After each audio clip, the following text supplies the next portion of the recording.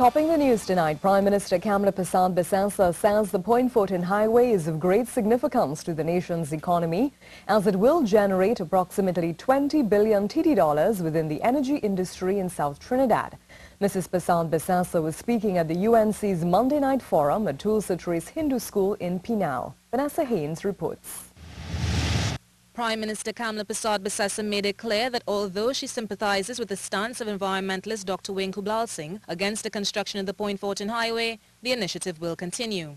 She addressed the contentious issue at last night's UNC forum, where she stated that for the country's fiscal growth, the highway will produce long-term benefits. She said this included the modernization of the southwestern peninsula and investments from Mitsubishi and Petrotrin, in addition to a U.S. $3 billion investment. She highlighted that the Energy Ministry had recently completed a successful deep water bid round for the exploration of oil and gas. Last Thursday, Cabinet approved these which were won by BHP Billiton. Persad Bissessar noted that the total investment associated with these successful bids is at least 580 million US dollars. BHP Billiton is an Australian company with revenues of US 72 billion dollars in 2012. It is one of the world's largest companies. They have been in Trinidad and Tobago for over 15 years. And with this, uh, these awards, they have now signaled renewed confidence in our country and its economy. The Prime Minister announced further that the Cabinet also agreed to the award of licenses to state-owned Petrotrin in respect of Trinmar and the North Marine acreages.